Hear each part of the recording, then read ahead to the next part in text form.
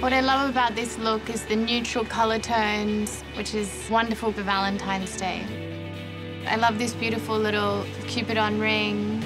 I love the fact that it has the infinity and the heart. If I'm wearing a necklace like this little one here, it's very fine and delicate and feminine.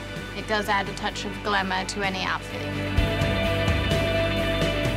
I also love the beautiful Stardust bracelets. And this watch is extremely special.